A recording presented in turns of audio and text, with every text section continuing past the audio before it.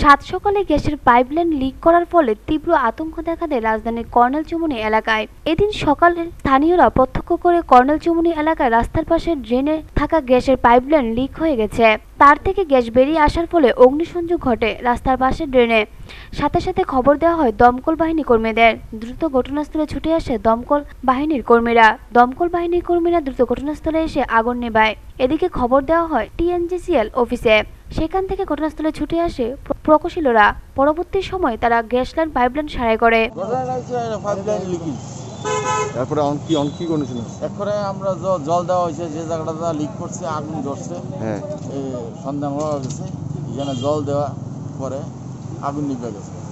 Gas liquid গেছে automatic অনেক CNG party এখানে আছে তারা কাজ করবে স্যার ড্রেন কি ভর্তি না পরিষ্কার পরিচ্ছন্ন আপনি ড্রেনটা আসছে আছে মোটামুটি তেমন না।